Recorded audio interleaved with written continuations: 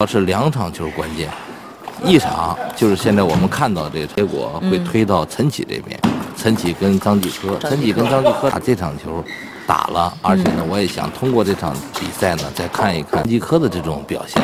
所以呢，我让张继科和陈启往后放一放，稍微让他缓一缓。第二个最主要的还是便于让广。那您是也要他们来直播的这种吗？对，因为张继科和太棒了，我们能够看到两场。最主要是陈启，嗯，是吧因为关系到陈启，呃，许昕和方博这场，如果许昕赢了，这两个跟博弈一样，对他互相都有关系的，嗯，所以他们现在的比赛呢，获得是吧？这个同伴的这个方面的这种加油。好，我们来看一下场上的情况啊，网友朋友们，你们好，这里是中国网络电视台五家体延安对阵网。嗯，说简单一点，就是延安这场球如果输了，已经没有悬念了，就是非陈启莫属。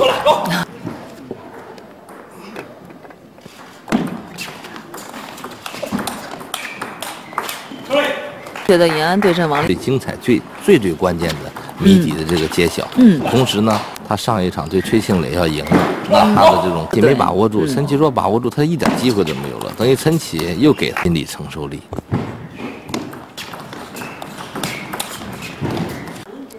所以在我们抛一调整一抓，相对容易就能提高。心理上的东西，很多大赛的这种心理是吧？两场他都把握不住的话，是吧？那他的这种心理上的这个问题是吧？就会暴露的比较。我们先看完这局，嗯，先把这局看完，比较关键。抓来，这样的这种精神状态，第三阶段。抓来，十一比九，进城啊，是吧？逐渐这个释放一些，特别是到最后两个球的时候，大家能看出这种延安这种叫声和一般的这种叫声不一样了。所以这就是运动员他们这种喊叫声，是不是听到他的声音，而是最主要他是内心的这种力量。日主大力，速胜，不不给大力这样的这种。所以第二局这个是一个这种比较关键的这个难度，反而就会加大。嗯，过来。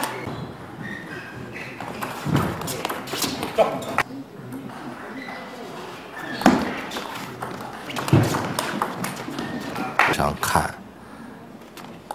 呃，还可以，但是缺乏一些亮点，就是他们呢欠缺一些啊，这个打的不是太好。嗯，最主要跟他的抽签也有一定关系。他前呢都想冲进前四，都想抓住这个机会，一些比赛的这种经验所致。其实他们的现在这种取胜的欲望和这个信念，会成为他们最终。好，来看一下场上的情况。无边领先，又连速度快，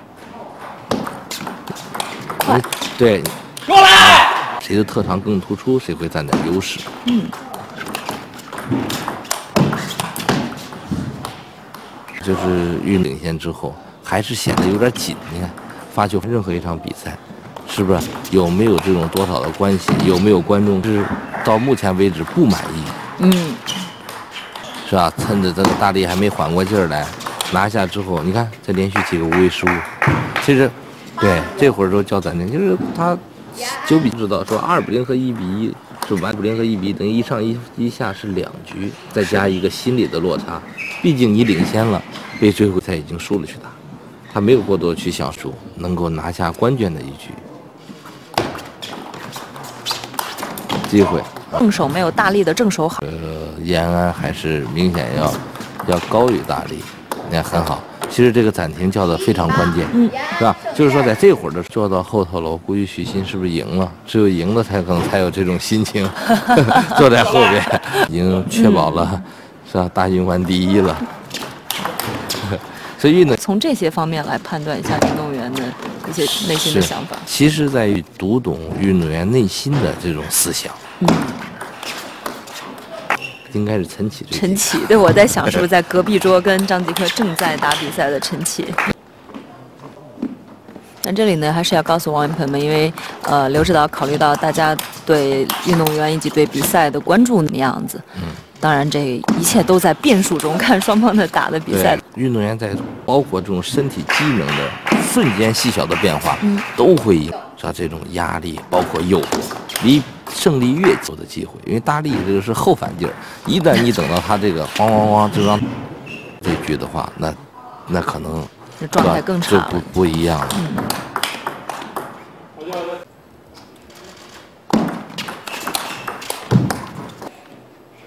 嗯，我们看场上的情况，我想大家呢一定也是都非常的关注。对，接近尾声，许昕果然是三比零赢了方博，心情不错的在这种看头了。等了一下，慢慢又追了回来。球的暂停，都很重视这个比赛。到了最后，像我刚刚说的那样，整个大循环第二阶段是一个什么样的结果，就看今天上午了。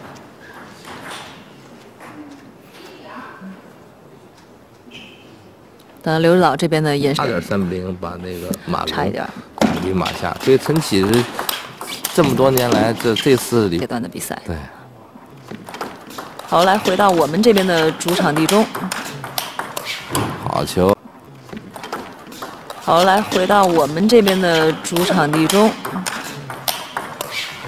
好球。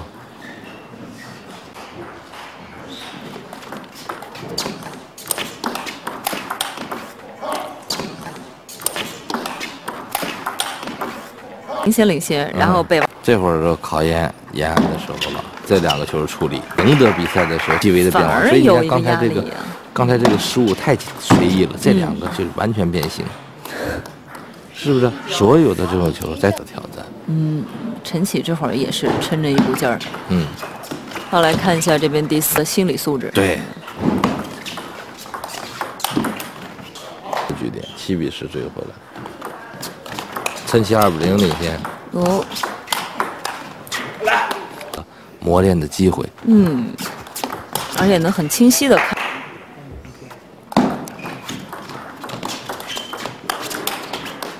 一会儿说说这边场，一会儿说说那边场。这边是没有两路信号吧？这次。呃，暂时我们只对了这一个场，等下次，下次咱们直通。到四个睡。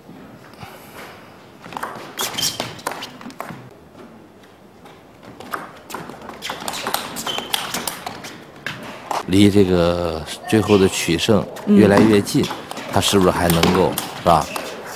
是吧？比较轻松，一分一分的打，一板一板的打，就当零比零，不要起变化。延安的前三板比大力要好，而且速度也比大力要快的机会。嗯，这要看张继科，张继科现在是零比二落后，嗯，是吧？这个把他们的比赛再挪过来，挪过来给大家奉献，是吧？把悬念逼到最后一刻，我觉得更加。啊，激烈！十一比二，三比一，延安获胜。十一比二，那么最终呢？三比一，两人取得了胜利。好嘞，那么刘指导现在呢，已经迫不及待的要赶紧去看一下吉科和陈启那边的比赛的赛况。如果呢，成绩没有。